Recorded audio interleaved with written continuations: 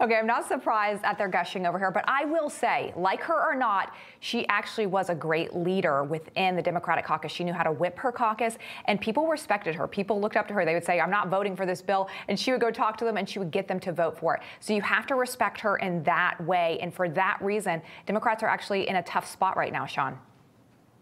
Yeah.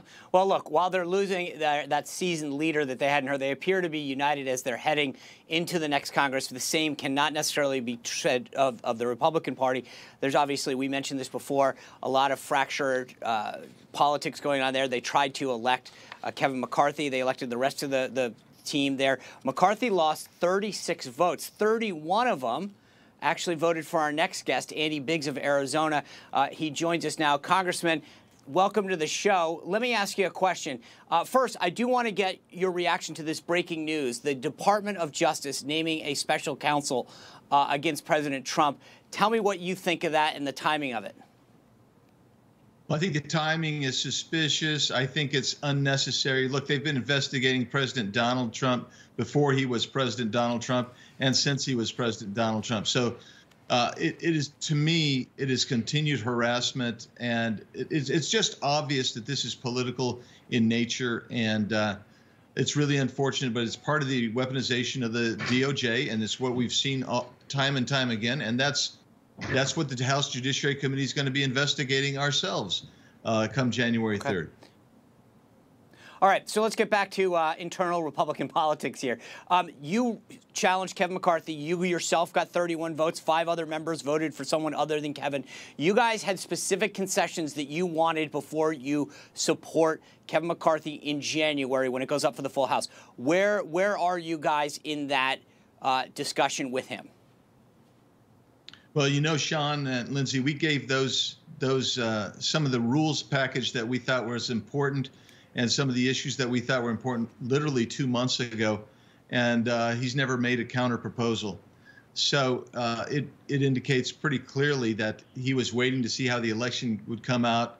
Election didn't come out well, and so we're not sure really what he's going to do. But right now, I do know he's working. He's working to try to shore up his votes and uh, and doing what uh, he can to try to, to to woo people to him. So, Congressman, what is the plan? I mean, if McCarthy can't get 218 votes in January, what's the plan? Who is the person who you guys want to see? Well, I think that you're asking the wrong question when you say who is the person you want to see, because uh, obviously I'm not going to get it, and obviously I think Kevin's not going to get it. So to say that only Kevin is the only guy who could be speaker I think is uh, just an absolute understatement, and undervaluation of so many great members that we have, skilled and capable. I mean, I could, you know, J- Jim Jordan would do a great job. Mike Johnson in Louisiana would do a good job. There are others who might come forward. The, I'm not, and I'm not meaning to put a target on these guys' back. I'm just trying to say that th- this conference actually has a lot of people who are skilled and capable, and they will come forward. There are still two months to go and uh, I don't think we're as fractured as you might think. I think what what's happening is is people are realizing we lost and we lost. Uh, we yeah. gained the majority, but we only have a two or three seat majority, and that's that that changes the world that we live in. So let me ask you two questions. Number one, if if Kevin McCarthy says to you, "Hey, I read your package now. Uh, I'm going to give you every concession that you want," will you vote for Kevin McCarthy?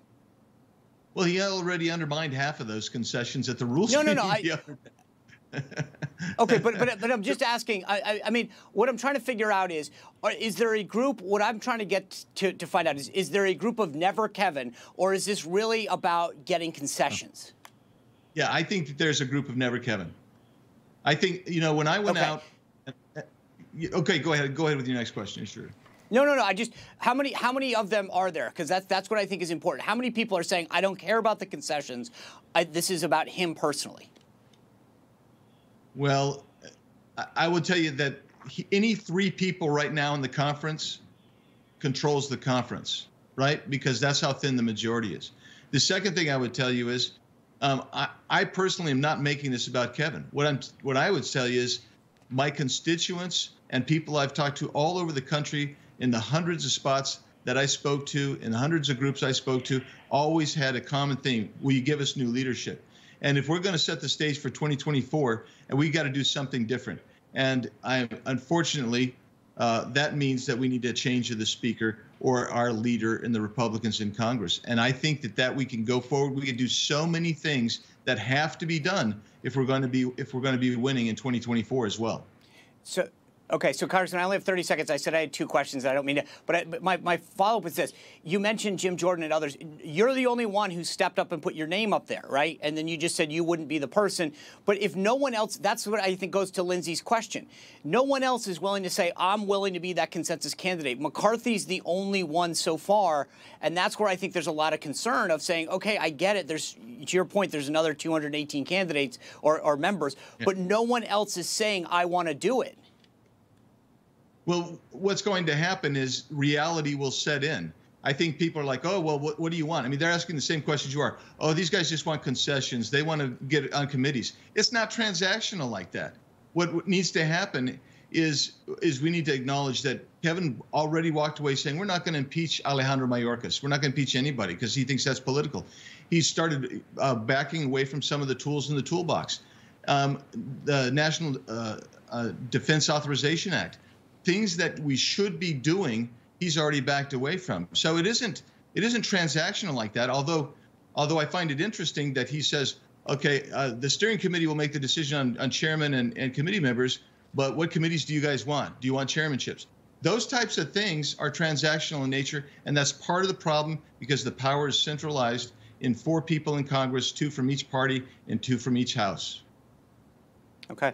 Congressman Biggs, I appreciate you coming on the show. Have a great weekend. If I don't see you again, happy Thanksgiving. Hey, happy Thanksgiving to both of you. Thank you.